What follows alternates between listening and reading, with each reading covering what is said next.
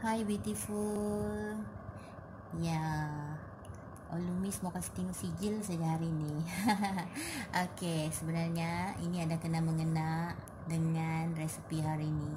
Resepi ini telah memenangi tempat pertama Johan pertandingan memasak makanan kampung atau tradisional tahun 2018-2019 baru saja Hari ini Olumis mau share resepi turun-temurun keluarga Olumis iaitu gulai kawah kawin.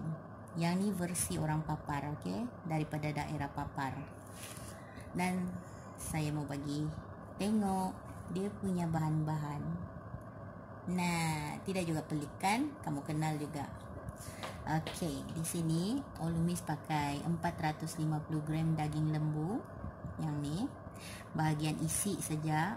Ulumis tidak campur perut urat tulang semua tu. Sebab ya ulumis cuma makan bahagian isi saja. Jadi kalau kamu mau masak nanti kamu mau campur bahagian-bahagian lain boleh juga. Sebenarnya kalau di papar biasanya kami masak gulai kawah kawin ni kami pakai daging kerbau. Sebab hantaran pun satu ekor kerbau dua ekor kerbau kan. Tapi uh, Olumis tidak dapat uh, sediakan daging kerbau. Memandangkan keadaan sekarang pun belum mengizinkan. Olumis masih takut pergi pasar gara-gara ini covid. Jadi daging lembu pun boleh. Okey tidak masalah. Okey di sini ini sudah pasti kamu kenal lah kan? Yang ni kayu manis. Okey kalau yang cekeding-cekeding macam ni kamu terpaksa pakai dalam 5 ke 6 batang kayu manis. Dan bunga lawang buah pelaga cengkeh dalam sejemput-sejemput saja okey dan mungkin ini agak uh, mencabar kalau kamu mau cari tapi kalau di Sabah kalau kamu pergi pasar penampang pasar papar okey pasar basah mana-mana daerah ada sejenis asam ni asam taloyalui ingat lagi uh, ada juga yang takobakob kan dia panggil. Sebenarnya ini asam hutan mbak ini okay, dia tumbuh liar saja di hutan. Dan satu biji nanas. Okay, yang orang bilang anak-anak nanas tapi kamu kena cari yang separuh masak. Jangan terlampau masak. Jangan terlampau muda. Memang uh, separuh masak saja. Okay, untuk jumlah daging 450 gram kamu cuma perlukan uh, sebesar dua penumbuk lah. Okay? nanas dan bawang-bawang seperti biasa bawang putih. Kalau kecil macam ni kamu perlukan dua. Bawang merah kalau dalam kecil-kecil macam ni kamu perlukan dalam 10 ke 15 biji. Yang ni bawang besar. Okay, bawang besar ni perlu dalam bawang Holland bahkan kalau ada yang panggil bawang Holland. Kalau yang besar tu kamu cuma perlukan satu, tapi yang ni saya perlukan dua. Okay, yang ni lengkuas. Okey, halia. Okey, kamu boleh agaklah bila saya taruh di tapak tangan kan berapa banyak halia. Dan juga kunyit hidup. Kunyit hidup. Okey. Okey.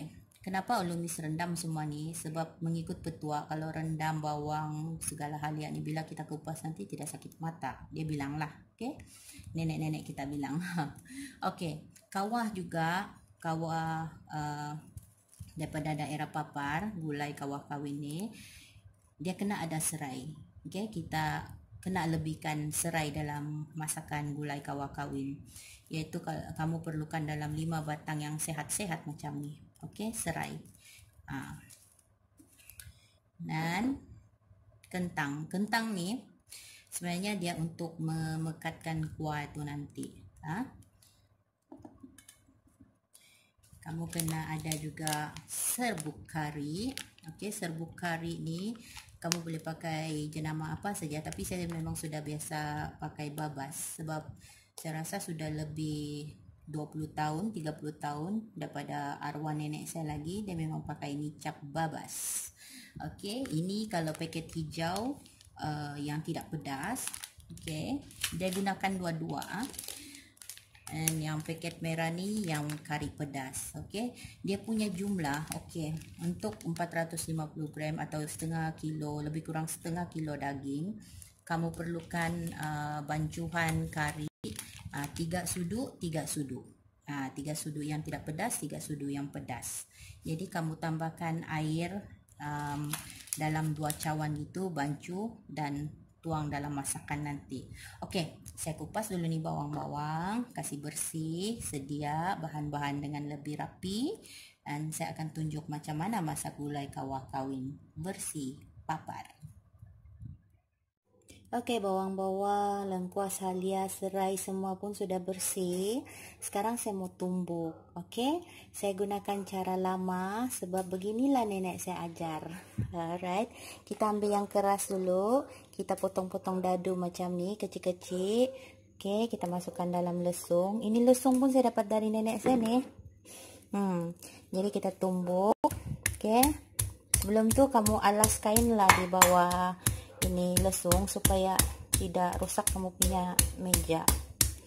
Jadi tumbuk dia sampai lumat lah.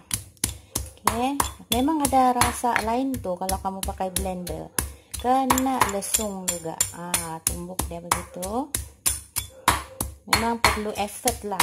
Oke tapi nanti hasilnya sedap dia memang puas hati. Saya tunjuk kamu sedikit macam mana kelumatan yang kita perlu. Okey. Ini sikit lagi ni nak tumbuh nah lebih kurang begitu. Okey. Dan untuk bawang petuan nenek saya dia bilang okey kalau kamu takut dia pedih, padas ataupun kamu mau senang dia hancur, kamu taruh garam sikit. Nah, gitu. Jadi kamu tumbuk. Nah, gitu saja. Tumbuk lagi. Oke, saya akan continue menumbuk sampai ada hasilnya nanti saya tunjuk lagi. Oke. Begitu juga dengan serai, saya tunjuk satu. Macam ni kamu titik saja dia. Ya, macam tu. Sama-sama. Okey. Akan terus menumbuk dulu. Nah, ni kali Olumis pakai periuk yang besar sikit. Mau ada feel itu kawah. Okey. Dan juga ini bahan-bahan pun agak banyak. Jadi perlukan uh, periuk yang besar lah. Okey. Kuali bahkan. Okey. Minyak pun uh, dalam satu mangkuk kecil kita perlukan untuk menumis dan saya tengok sudah mau panas sudah tu. Jadi kita boleh masukkan kita punya bunga lawang, kayu manis, bawah pelaga semua tu. Okey, kita tumis yang tu dulu. Masukkan daripada tepi.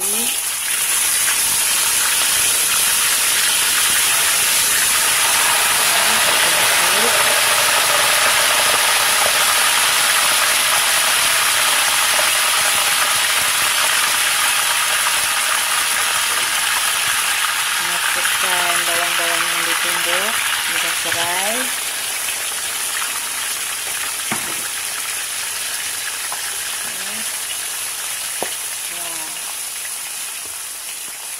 kalau dulu nih kami masak pakai kayu api.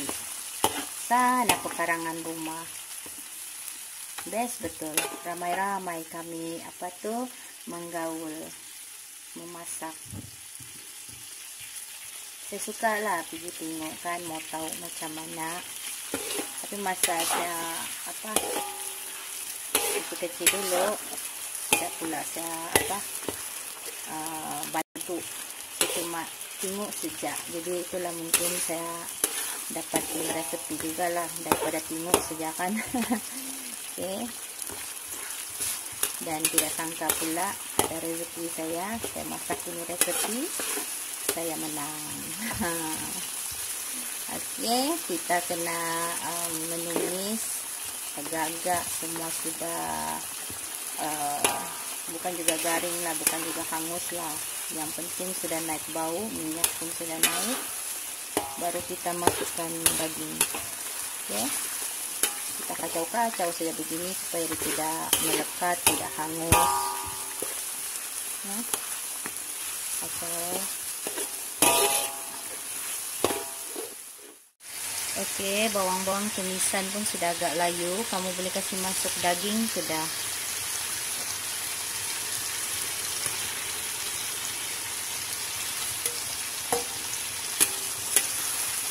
Gaulkan.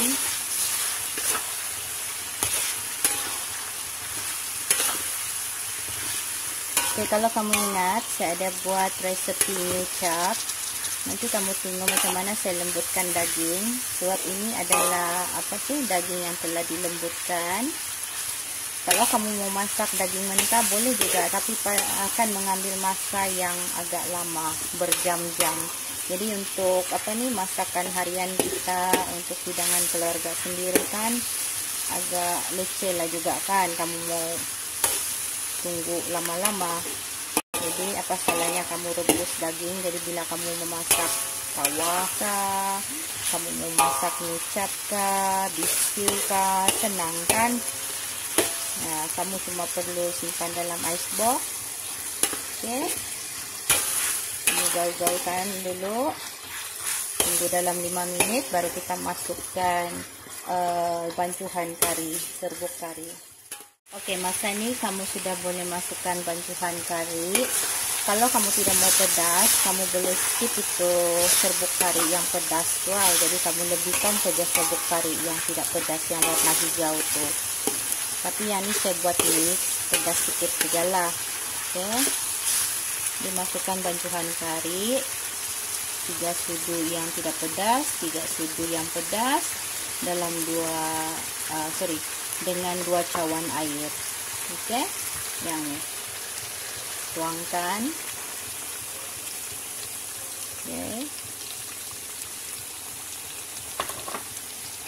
Si gaul dulu dia.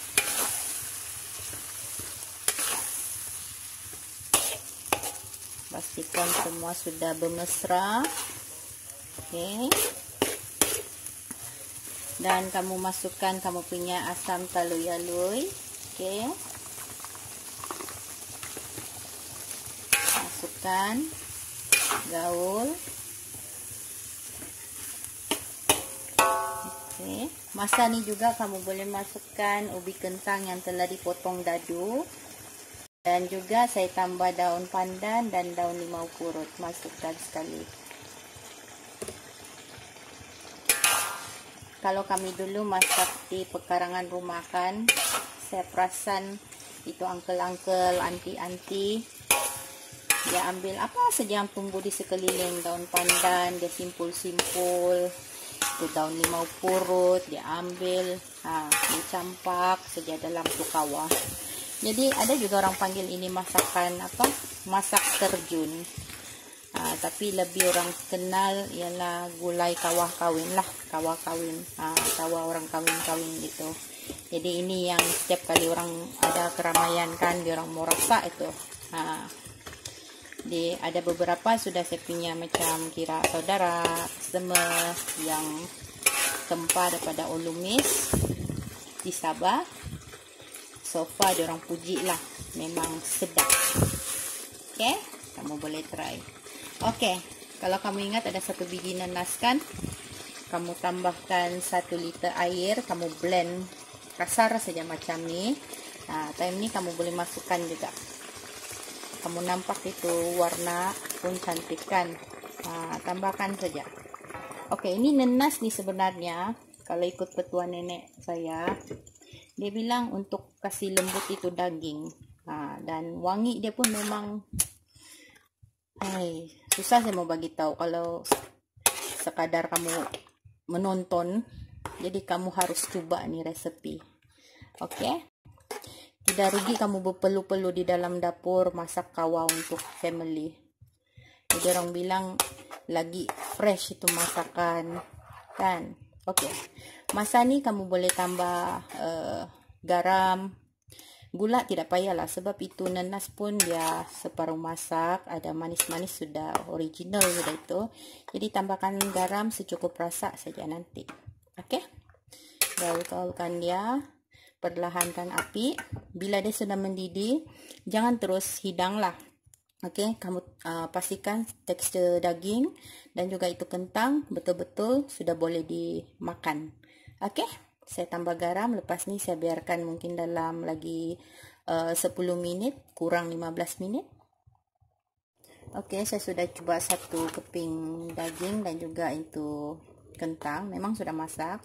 Tapi tadi saya tambah lagi ni hirisan bawang uh, besar, bawang Holland. Dan saya mau kasih biar lagi dalam kurang daripada 10 minit, 8 minit ke lagi. Baru saya hidang lah. Okey. Jadi, okey. Ada ada juga uh, gulai kawah kawin yang saya tengok. Dia kasih campur itu rebung pucuk rebung kan? Pucuk rebung bambu uh, pucuk rebung kelapa sawit uh, memang sedap juga. Ngam juga itu. Okay, cuma saya memang ikut uh, cara apa ni resepi turun temurun kami. Begini saja simple saja. Ya. Kalau ada yang sekali imbas dia tengok kan eh macam apa ini macam kari. Ha, tapi bila kamu rasa memang ada kelainan dia. Ya. Nanti saya mau share juga daging masak kari kari daging olumis dengan kamu. Okey yang ini gulai kawah kawin so nanti hasil dia saya akan tunjuk dan saya mau kasih tengok kamu sementara tu saya mau kasih tengok kamu kawah peninggalan nenek saya Nah, ni kucing pun kasih kawan saya pitingu ni kawah. Sini belakang rumah. Okay. Saya sayang ni kawan ni. Setiap kali saya nampak mesti saya rindu nenek saya. Inilah peninggalan nenek saya. Besar kan? Saya pun muat nih. okay. Dulu kalau kawin-kawin anti saya apa semua memang ini apa kawah kena guna. Besar. Boleh kasih makan satu kampung. Tapi itulah kalau ada yang ada tips untuk kasih kilat balik ini kawah kan tolonglah kamu share di komen. Okay, bagi saya tips supaya saya boleh kasih bersih sebab saya bangga nih dan nanti saya akan gantung di dinding rumah. Okay alright jom kita masuk kita pergi makan. Masak tu kawah di dapur. Gulai kawah kawin olumis. Sudah ready untuk dimakan Bah, kalau kamu masih tidak masa mau memasak, datang saya pergi kedai saya sana Kingfisher Olumis di Sabah jangan lupa like, share and subscribe. Love you all